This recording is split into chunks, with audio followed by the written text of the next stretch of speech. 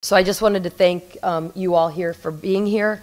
Um, Again, um, Dr. Suskind, um, Parent Nation um, is one of a couple of books that you have written, and I want to thank you and your staff, and Doctor, thank you for being here with us as well. Um, This conversation will continue, but for us here, I know that we have been charged with, with a lot of things. Um, And we recognize that the group that's sitting in front of us is not the one that we need to convince. It's the groups outside of this, these, um, these doors. So I appreciate you, your time, your dedication to our children, um, to our state, and to ensuring that we can have a better foundation for our future. So thank you both for being here.